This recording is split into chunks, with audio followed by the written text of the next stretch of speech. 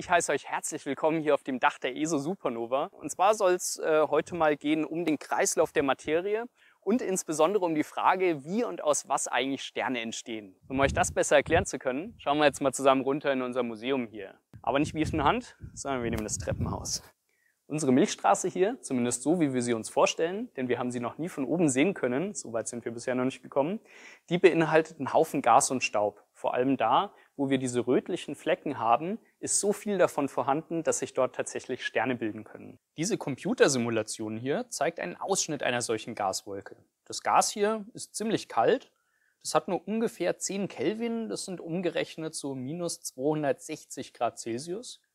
Und wie alles im Universum ist auch dieses Gas hier ständig in Bewegung, wenn auch ziemlich träge, denn es ist ja ziemlich kalt. Und während wir die Zeit laufen lassen, fängt das Gas langsam an, unter seiner eigenen Schwerkraft zusammenzuklumpen.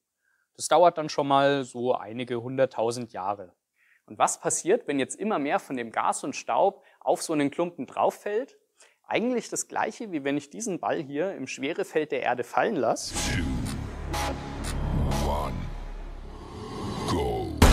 Da wird nämlich sogenannte potenzielle Energie frei. Bei dem Ball hier wird die potenzielle Energie in Bewegungsenergie umgewandelt. Äh, Im Fall des Gases, das auf den Klumpen drauf fällt, äh, wird diese potenzielle Energie auch in Wärme umgewandelt. Sie heizt also den Klumpen auf und wenn wir ein bisschen warten, wird so ein Klumpen mit der Zeit immer dichter und immer wärmer. So steigt die Temperatur eines solchen Klumpens von anfänglich minus 260 Grad Celsius ungefähr bis hoch auf beinahe Körpertemperatur und drumherum bildet sich ein Band aus Staub und Gas. So, und dieses Gas fällt jetzt so lange auf die Klumpen ein, bis im Inneren Druck und Temperatur so hoch sind, dass Atomkerne verschmelzen können. Das gleiche passiert auch im Inneren unserer Sonne. Und in diesem Prozess werden neue Elemente geschaffen. Dabei wird viel Energie frei. Diese Energie wird in Form von Licht abgestrahlt und ein neuer Stern ist geschaffen. Voilà. Hier sehen wir so ein paar von den Exemplaren. Soweit die Theorie. Aber woher wissen wir, dass es wirklich so war?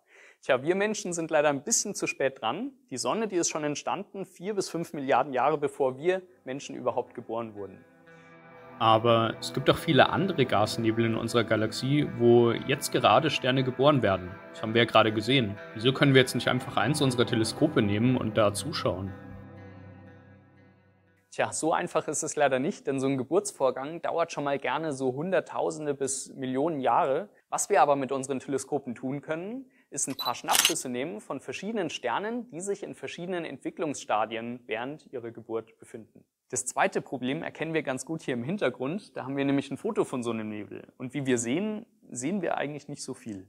Äh, der Grund ist, dass das Licht von einem Stern, der hier im Inneren des Nebels frisch geboren wurde, wahrscheinlich, nicht durch den Vorhang dieses Gases durchkommt. Aber wie für so viele andere Probleme haben Astronominnen und Astronomen auch in diesem Fall eine Lösung gefunden. Wie die Lösung ausschaut, zeigt uns Wolfgang oben im Seminarraum. Nur so als kleiner Tipp, Sterne strahlen nicht nur Licht im für uns sichtbaren Bereich aus, dem visuellen Licht, sondern auch in dem Bereich mit längeren Wellenlängen, dem sogenannten Infrarotbereich.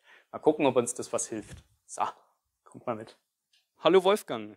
Servus. Ich dachte mir, du könntest uns vielleicht mit ein paar Metern Sicherheitsabstand äh, erklären, wie wir jetzt durch den Orionnebel durchgucken können. Ähm, könnte uns da das Infrarotlicht vielleicht helfen? Ja, bei der ESO sind die Teleskope ja eigentlich in Chile. Deswegen können wir uns da nicht so einfach drunter legen und mal nachschauen, wie dann das Infrarotlicht von den Teleskopen mal aufgesammelt wird. Wir müssen uns hier ein bisschen helfen und Modelle bauen. Hier wir ein kleines Modell vom Sternbild Orion wie man es am Abendhimmel im Winter mit bloßem Auge sehen könnte. Man sieht einfach die Sterne und wenn man äh, einen guten Himmel hat, auch ein bisschen den Orionnebel. Aber wie gesagt, nur das, was man mit sichtbarem Licht sehen kann.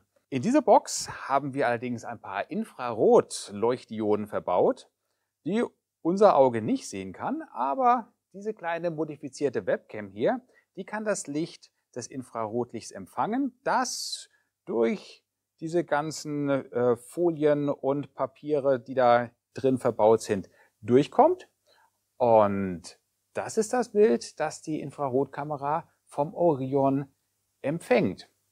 Man sieht also mit, dem Infra mit der Infrarotkamera wesentlich mehr, als man mit bloßem Auge sehen kann und vor allem die Dinge, die sich hinter den Staubwolken verstecken.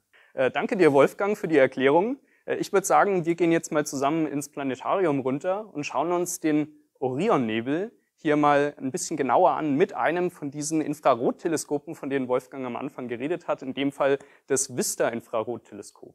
So, hier sind wir auch schon. Ich würde sagen, wir setzen uns mal direkt in die Mitte rein und warten, bis Wolfgang für uns die Show gestartet hat.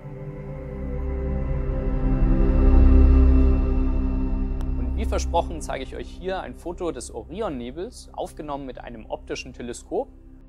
Dieses optische Teleskop sieht also das für uns Menschen sichtbare Licht. Und hier sehen wir ziemlich eindrucksvoll, wie wir mit so einem Infrarotteleskop durch diesen Vorhang aus Gas und Staub blicken können auf diese vielen, vielen frisch geborenen jungen Sterne inmitten des Orionnebels. Ich hoffe, ihr hattet alle große Freude mit Wolfgang und mir. Uns hat es einen Haufen Spaß gemacht, mal was zusammen aufzunehmen. Und wie alles, was in diesen Sternen steht, irgendwann über den großen Kreislauf der Materie also einen Weg in meinen Körper findet, in Wolfgangs Körper und ins Dach der ESO Supernova, das erzähle ich euch nächste Woche. Bis dahin.